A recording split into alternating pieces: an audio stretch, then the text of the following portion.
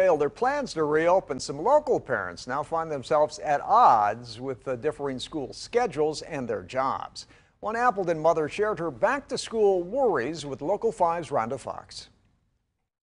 I want to be there for him for the, the three days that he's not going to be here, but I work full time and my husband works full time, so we're kind of in a in a predicament of what, what do we do? Shannon says she's added frustration to her school shopping list because balancing work and childcare will be tough this year. They don't seem to understand right now that the predicament that working parents are in, and so that's kind of frustrating for a lot of us.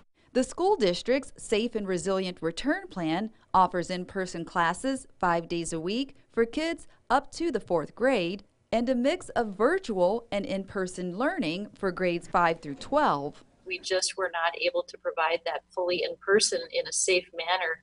Uh, that, you know, EC through grade six, the way our elementary schools are configured, they're already overcrowded.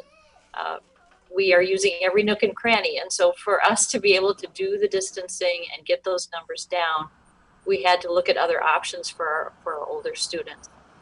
Some employers can't parallel Appleton area school district's schedule, leaving parents with tough choices.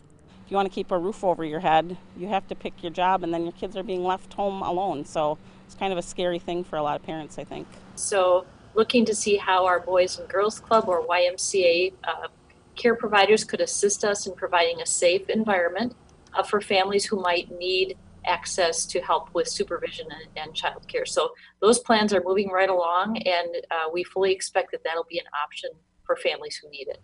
In Appleton, Rhonda Fox.